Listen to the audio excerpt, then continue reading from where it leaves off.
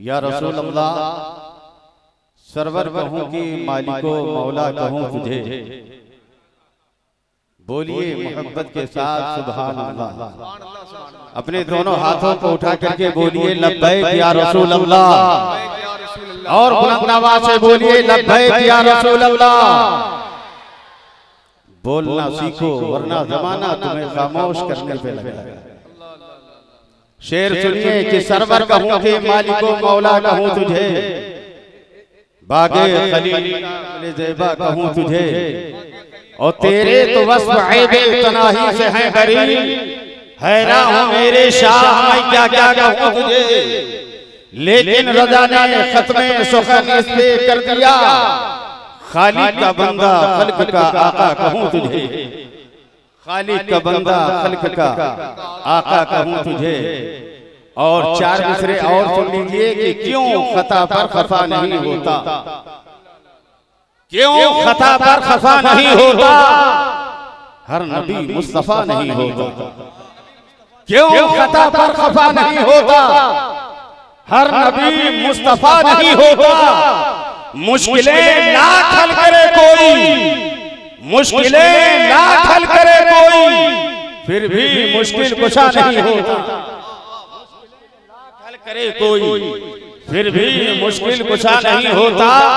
اور صرف القاب خاندانی سے صرف القاب خاندانی سے کوئی احمد رضا نہیں ہوتا۔ سے کوئی احمد رضا نہیں ہوتا۔ اور گھر سے ماں کی دعائیں لے کے چلو۔ گھر سے ماں کی دعائیں لے کے چلو۔ راہ میں حادثہ نہیں ہوتا۔ گھر سے ماں کی دعائیں لے کے چلو۔ راہ میں حادثہ نہیں ہوتا۔ اور آپ دنیا میں گر نہیں آتے۔ کوئی پتہ ہرا نہیں ہوتا۔ آپ دنیا میں گر نہیں آتے کوئی پتہ ہرا نہیں ہوتا۔ بابا دے بلند درود پاک پڑھیں اللہم صلی اللہ۔ سیدنا و شفیعنا حبیبنا مولانا محمد وسلم۔ صلاة و سلام علیکہ یا رسول اللہ۔ صلی اللہ۔ علیہ وسلم ابھی آپ نے سنا بھائی کلیم دانی صاحب سے جن کے ہر مصرے میں ایک پیغام تھا۔ مسلمانوں ذرا قربان تو جائیں آج اگر یہ ہماری قوم کی بچیاں مرتد ہو رہی ہیں تو اس کے ذمہ دار کوئی اور نہیں۔ ہے یہ ذمہ داری آپ کی بھی ہے۔ یہ تمام تر خطبہ اہل سنت کی بھی ہے۔ مسلمانوں قربان تو جائیں آپ۔ کاش ہمارے قوم کے لوگوں نے اپنی بچیوں کو وقت پہ شادی کر دیا ہوتا۔ اور اپنے سماج سے یہ جہے جیسی لالا بیماری کا خاتمہ کر دیا ہوتا۔ تو آج ہماری غریب قوم کی بچیاں یہ تختے دار پہ نہ لٹک رہی ہوتی اور یہ فاسی کا پتہ نہ چوم رہی ہوتی بلکہ ان غریب بچوں کو بھی ہاتھ پیلے کھو کر کے یہ بھی اپنے سسرال۔ مسلمان۔ جبکہ اللہ کے حبیب صلی اللہ علیہ وسلم نے ارشاد فرمایا نکاح کو آسان کرو۔ نکاح آسان کرو۔ لیکن اتنا مہنگا کر دیا ہے کہ آج ہمارے غریب لوگ شادی کرنے پر سوچتے ہیں۔ غریب بچیاں سوچنے پہ مجبور ہو جاتی ہیں۔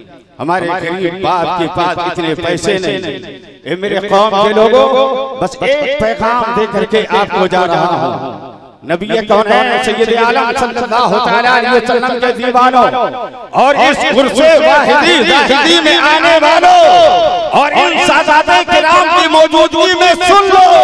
اے میرے قوم کے لوگوں جہاں جہاں سے آئے ہوئے ہو جس محلے کے ہو جس شہر کے ہو جس گاؤں کے ہو جس قریہ کے ہو۔ اگر تمہارے گاؤں میں سال میں دس شادی ہوتی ہے تو ہر شادی سے گاجا باجا ناچ گانے کو ختم کر دو۔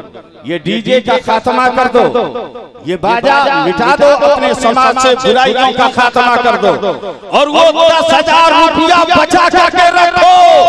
دس شادیوں کے کا ہزار روپیہ بچا کر ایک لاکھ روپیہ ہوتا ہے۔ پھر محلے میں تلاش کرو۔ ہمارے قوم میں وہ غریب کون سی بچی ہے جس کے ہاتھ پینے نہیں ہوئے ہیں؟ وہ ایک لاکھ روپیہ۔ غریب بچی کے شادی پر خرچ کر دو۔ ادھر غریب بچی کے ہاتھ پینے ہوں گے۔ ادھر جنگ کی حوریں تیرے لیے ماہ پھیلا۔ سبحان اللہ۔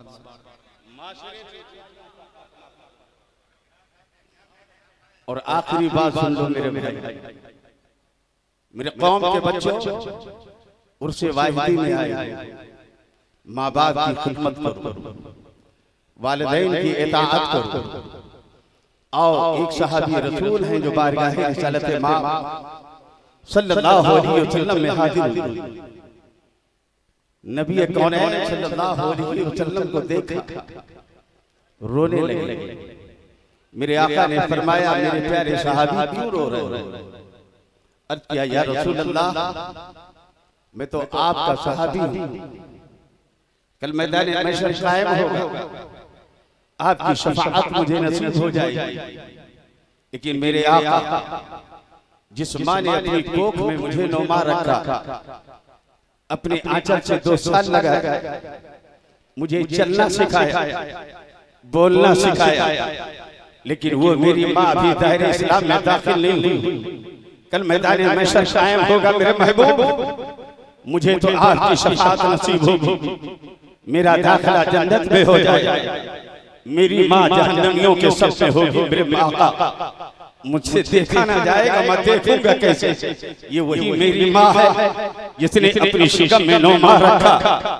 یہ وہی میری ماں دے مشتقہ ہے جس نے اپنے آنچل سے دو سال لگا کر کے مجھے رکھا۔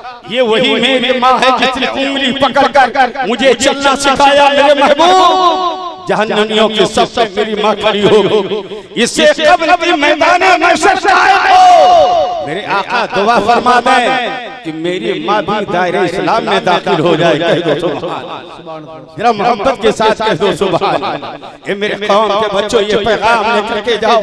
نبی کونین صلی اللہ علیہ وسلم نے منع نہیں فرمایا کہ ایک کافرہ ماں کے لیے دعا کرانے کیوں آئے ہو میرے پیارے صحابی بجائے منع کرنے کے میرے مصطفیٰ نے اپنے دست نبوت کو پروردگار کی بارگاہ میں درار فرمایا۔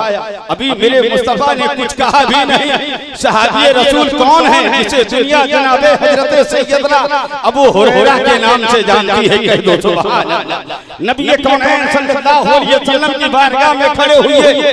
مستی میں جھومنے لگے۔ میرے آقا نے فرمایا اے میرے پیارے صحابی ابھی تو میں نے کچھ کہا بھی نہیں یہ مستی میں جھوم کیوں رہے ہو کہا یا رسول اللہ یہ میرا ایمان ہے میرا عقیدہ ہے میری ماں کے لیے ہاتھ آپ کے اٹھ گئے ہیں میری ماں کو اس وقت تک موت نہیں آئے گی جب تک کہ وہ کلمہ پڑھ کے دائر اسلام میں داخل نہ ہو جائے کہہ دو مسلمان و قربان مختصر یہ وقت نہیں ہے۔ بارگاہ رسالت ماں صلی اللہ علیہ وسلم سے پیارے صحابی اٹھے گھر پہنچے دروازے پہ دستک دی۔ آواز آئی کون؟ کہا آپ کا بیٹا ابو حریرہ آیا ہے۔ میں دروازہ کھول دو نبی کونین صلی اللہ علیہ وسلم کے دیوانوں ماں نے کہا بیٹے کھڑے رہو۔ ماں نے غسل کیا لباس کو تبدیل کیا باہر نکلی اور کہتی ہیں میرے لال جس نبی کا کلمہ پڑھتے ہو اسی رسول کے پاس لے چلو۔ اسی تھانہ سبل کی بارگاہ میں لے چلو۔